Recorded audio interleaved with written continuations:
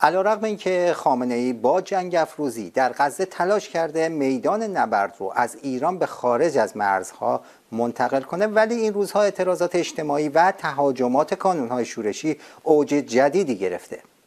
تجمعات اعتراضی در سراسر کشور از بازنشستگان لشکری و کشوری تا کارگران و نفگران در جنوب و کشاورزان کفنپوش اصفهان و سایر اخشار مردم.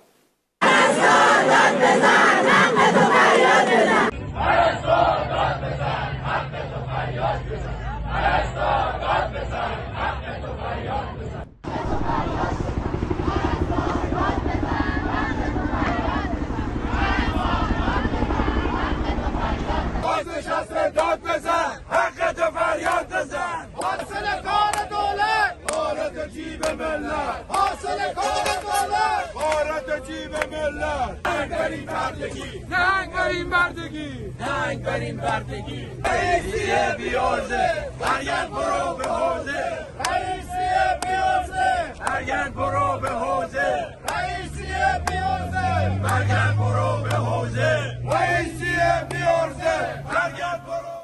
و همچنین تهاجمات جوانان شورشی به مراکز حکومتی و نمادهای ارتجاع در شهرهای مختلف میهن هر روز گسترش بیشتری می‌گیره. پیام این اعتراضات چیه؟ همراه هستیم با جاهد معدومی در استودیو. با سلام و خوش آمد بهت. اگه موافق باشی اول از اعتراضات اخشار مختلف جامعه و مردم تو روزهای گذشته برامون بگو و ارزیابیت از این اعتراضات چی هستش؟ من اولش می‌خواستم از فرصت استفاده کنم و تشکر کنم از شما که منو دعوت کردید. همچنین خدمت بینندگان عزیز سلام عرض کنم. خب همونطور که شما هم الان توی کلیپ ها نشون دادید اعتراضات از ابتدای آبان ماه شروع شده و رو به گسترش هستش. دلیلش هم اینه که خب رژیم با بحران سازی هایی که می‌کنه داره تلاش می‌کنه که بگه که توی ایران هیچ خبری نیست و همه چیز به آرامش رسیده و مسائلی که مسائل مهمتری الان وجود داره در خارج از ایران که تمرکز رو باید روی اون برد. و اینطوری در واقع تلاش می‌کنه ذهن جامعه رو به سمت دیگه مهندسی بکنه. ولی از اونجایی که فقر، فساد، بیکاری، وضعیت واقعا ناهنجار و غیر قابل تحمل معیشتی برای مردم تو ایران یک واقعیت سرسخته و وجود داره. خب این یه چیزی که روش نمیشه سرپوش گذاشت و مردم ایران خیلی خوب آگاه شدن بعد از این همه سال که گذشته که فقط با حضور خودشون تو کف خیابون قادر هستن که حق خودشون رو از این رژیم بگیرن. به خاطر این ما از اول آبان ماه علیرغم تمام بحران های بین المللی وجود که وجود داره و تمام اعدام ها و سرکوبی که رژیم توی داخل کرده شاید این هستیم که این قیام ها دوباره شروع شده و روز به روز رو به رشد هستش. بله.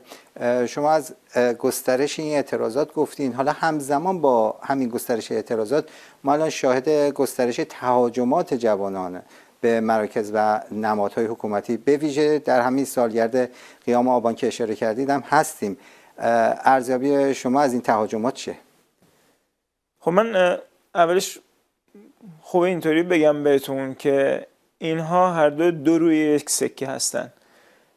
بحرانی که توی ایران وجود داره بحران بین حاکمیت و بین مردم ایرانه.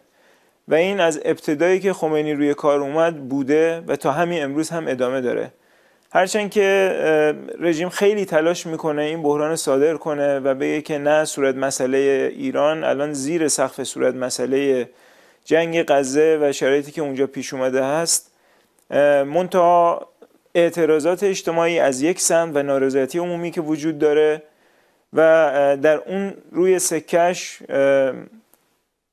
کانونهای شورشی و عملیات رو به رشدی که دارن خب تمام این میزه ولی فقیه رو چپ کرده. الان شما اشاره کردید به آبان ماه. خب ما توی آبان ماه سالگرد قیام آبان خونین 98 رو داریم. و ایزن در کنار اون سالگرد شهدای آبان 1401 خب این یک مناسبتیه که جامعه واقعا در انتظار یک تحولی هستش توی این مناسبت. کانونهای شورشی با استفاده از همین موقعیت انقلابی جامعه از ابتدای آبان یک کمپین گسترده آتش و حرکت های انقلابی دیگر رو شروع کردن که بیش از 600 حرکت انقلابی و آتش محور بوده توی این یک ماه. که من چند نمونهش رو فقط آوردم براتون که بهتون اشاره کنم که واقعا ببینیم چه شوک عظیمی این به رژیم وارد می‌کنه و چه امید بزرگی به پیکره جامعه ایران میده. به عنوان مثال تهاجم و انفجار سنگین تو قرارگاه ضد سرالای سپاه پاسداران تو تهران بوده. انفجار در غذایی رژیم تو خراسان رضوی. انفجار در غذایی رژیم دادسرای عمومی انقلاب و تهران در خیابان جیهون تهاجم به مجتمع غذایی جلادان در تهران انفجار حوزه‌های بسیج 109 و 110 سپاه پاسداران در تهران بزرگ انفجار غذایی رژیم و معاونت اجرای احکام در دادسرای عمومی و انقلاب توی مشهد تهاجم به پادگان سپاه پاسداران در شهر رضا تو استان اصفهان بوده انفجار در غذایی رژیم و اداره تذیرات رژیم توی اسلام آباد غرب تهاجم و انفجار غذایی رژیم دادسرای عمومی انقلاب, عمومی انقلاب و شهر در توی شهرستان ایران شهر بوده. یعنی این نمونه عملیات هایی بود که من به شما گفتم. در کنار اون انبوهی آتش زدن و تهاجم های انفجاری به نمادهای حکومتی و نمادهای سرکوبی که رژیم با نصب اونها و برپای اونها توی شهرهای مختلف تلاش می‌کنه که جو سرکوب رو توی جامعه بالا ببره. خب ما از طرفی مردم ناراضی رو می‌بینیم. از اون طرف عملیات رو به گسترش کانونهای شورشی. این هم خوبه. من به شما بگم که رژیم به دلیل در واقع این کمپین آبان ماه فقط یازده هزار نیروی بسیج رو آورده بود توی خیابون برای اینکه مانع بشه که کانونهای شورشی دست به عمل بزنن.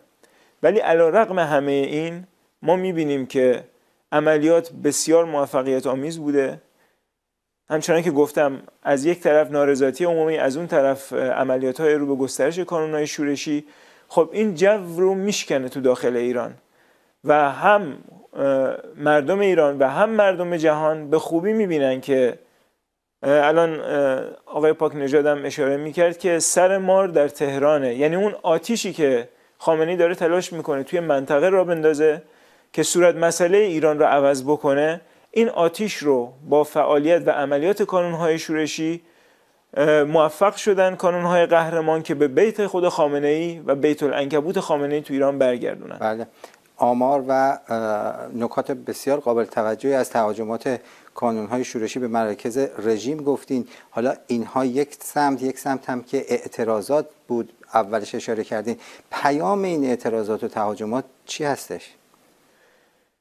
پیام اگه در یک جمله بخوام بگم پیام امید. جو سرکوبی که رژیم می‌خواد با گسترش اعدام ها با گسترش فقر با گسترش سرکوب ایجاد بکنه توی داخل ایران. و صورت مسئله که می‌خواد رژیم عوض بکنه یعنی اون صورت مسئله جنگی که بین مردم و بین نظام هست و اون رو صادر بکنه با بحران سازی های مختلف به کشورهای پیرامون این جو میشکنه و این در واقع مهندسی که خامنه ای داره انجام میده برای اینکه عمر برای خودش بخره خب این زیربناش کامل زده میشه. در نتیجه اون چیزی که ایجاد میشه توی مردم ایران امید به آینده امید به موج بعدی قیام و همچنین آمادگی جوانان شورشی در داخل ایران و جوانان مبارزه انقلابی برای سازماندهی و در واقع ایجاد دسته های شورشی و دسته های میدانی برای آمادگی کسب کردن برای موج بعدی قیام ها هستش که بتونیم در واقع ضربات هرچه سنگینتر به این رژیم وارد کنیم و در نهایت به پیروزی برسیم. بله با تشکر از شما آقای جاید معدومی که در این گفتگو همراه ما بودید. منم تشکر می‌کنم از خواهش می‌کنم.